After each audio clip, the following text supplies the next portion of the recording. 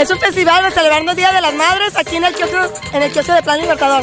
Tenemos un compromiso con el pueblo de este apoyando desde cada tres, cuatro meses con un evento y ya es hora y se lo merecen. Desde, nos apoyan diferentes este, grupos, organizaciones que se suman a la causa y se suman de este azar en movimiento por una causa, la asociación civil. Tenemos desde consultas médicas, tenemos desde consultas dentales, brincolines, payasos, vamos a hacer muchas dinámicas, muchas rifas y va a haber para todos.